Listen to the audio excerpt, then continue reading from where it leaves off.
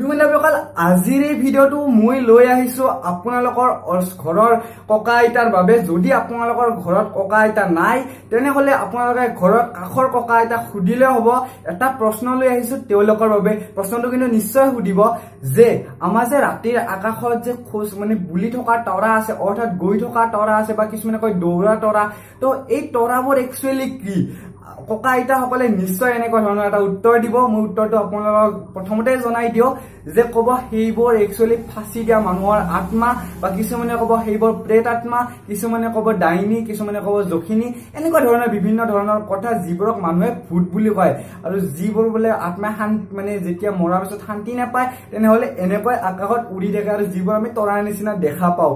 আৰু সেই তৰাবোৰক মানুহ আমাৰ ককা আইতাবোৰে বা কিছুমানৰ মা দেউতাই কৈ দিব যিবিলাকে নাজানে যে কৈ দিব যে সেইবোৰ একচুৱেলি ভূত হয়। কিন্তু বন্ধু বান্ধৱীসকল সঁচাকৈয়ে সেইবোৰ বাৰু প্ৰেত আত্মা নেকি বা সেইবোৰ সঁচাকৈয়ে ফাঁচি দিয়া মানুহৰ আত্মা নেকি? আপোনালোকে কি জানে নে নাজানে? সকলোখিনি আজি ভিডিঅ'টোত জনাই দিম। এই ভিডিঅ'টোত সেই তৰাবোৰৰ কথাবোৰ। তো বলক ভিডিঅ'টো আৰম্ভ কৰো। একচুৱেলি তৰাবোৰ কোনো ধৰণৰ গৈ নাথাকে। অৰ্থাৎ তৰাবোৰে নলৰে অৰ্থাৎ তৰাবোৰ ষ্টেবুল যেনেকৈ আমাৰ পৃথিৱীৰ আটাইতকৈ ওচৰত থকা আটাইতকৈ ডাঙৰ তৰাটো হৈছে আমাৰ সূৰ্য যিটোক আমি ভবা আছিলো সৰু থাকোঁতে যে সেই একচুৱেলি সূৰ্যটো ঘূৰি থাকে আমাৰ চাৰিওফালে। কিন্তু এনেকুৱা নহয় যে আমাৰ পৃথিৱীখনে ঘূৰি থাকে। কিন্তু আমাৰ যিবিলাক নক্ষত্ৰ আছে অৰ্থাৎ তৰা আছে সেইবোৰ সদায় ষ্টেবুল হৈ থাকে। সেইবোৰ নলৰে সেইবোৰ তাতেই থাকে।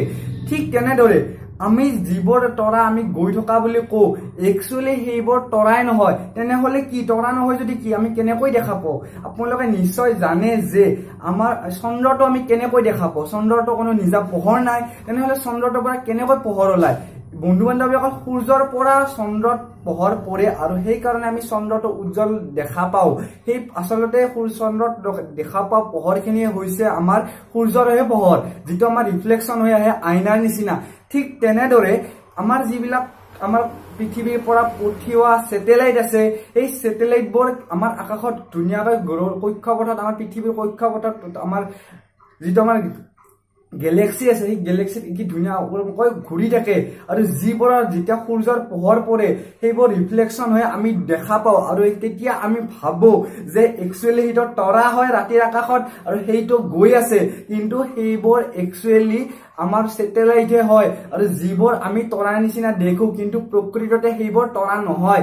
এতিয়া কথাটো হৈছে কিছুমান আমি অতি উজ্জ্বল দেখা পাওঁ আৰু যিবোৰ মাজে মাজে জলনম কৰি থাকে। কিন্তু সেইবোৰ কি জানেনে? সেইবোৰ হৈছে আমাৰ এৰপ্লেন। যিবোৰ এৰপ্লেনত লাইট থাকে আৰু ৰাতি আমি সেইবোৰ দেখা পাওঁ আৰু কিছুমানে সেইবোৰ তৰা বুলি ভাবে কিন্তু সেইবোৰো তৰা নহয়।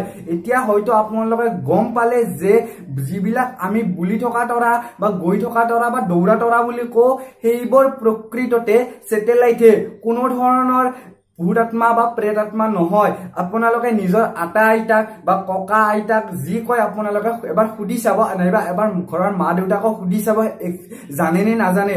যদি নাজানে আপোনালোকক জনাই দিলেও আপোনালোকে তেওঁলোকক শিকাই দিব।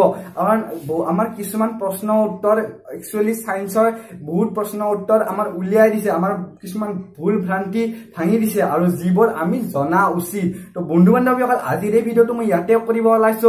ধন্যবাদ জয়াই অসম কালি আমাৰ পোন্ধৰ আগষ্ট আৰু পোন্ধৰ আগষ্টৰ মই আপোনালোকক হিয়া ভৰা শুভেচ্ছা জনালো।